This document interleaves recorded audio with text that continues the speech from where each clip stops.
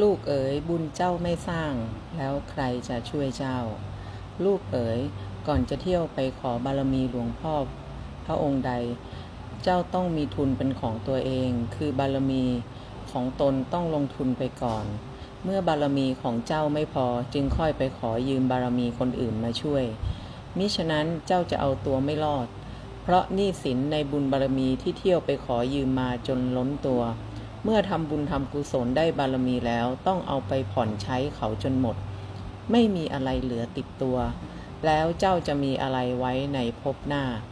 มันสร้างบารมีไว้แล้ว ฟ้าดินจะช่วยเอง จงจำไว้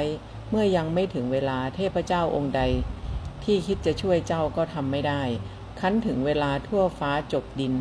ก็จะต้านเจ้าไม่อยู่ จงอย่าไปเร่งฟ้าเร่งเทวดา เมื่อบุญเราไม่เคยสร้างไว้เลย จะมีใครที่ไหนที่จะมาช่วยเรา